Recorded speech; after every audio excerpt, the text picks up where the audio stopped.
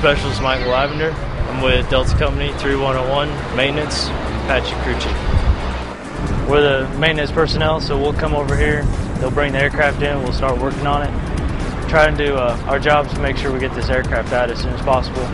Everything you touch or move on that aircraft, you're putting in risk two people.